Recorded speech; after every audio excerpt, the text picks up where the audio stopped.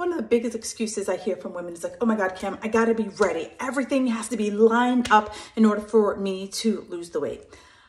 I don't know who needs to hear this. You are never going to be 100% prepared to lose the weight. And the best time to figure that out is when you're running 100 miles an hour because I see it all the time. We are always in this stop start moment. Like, if it's not lined up just so I can't focus on myself. And let's just be honest, life is never going to slow down. So let's just stop right now and say, how can I stop making this excuse? Because perfect ain't coming. And so, sure, weight loss, it takes preparation, it takes practice, and it takes planning. However, it doesn't mean that you have to be a pro before you start because we all aren't going to be pros. So, what's your first step? Is it getting a 15 minute walk after lunch? Is it adding in an extra couple of vegetables, adding in an extra walk?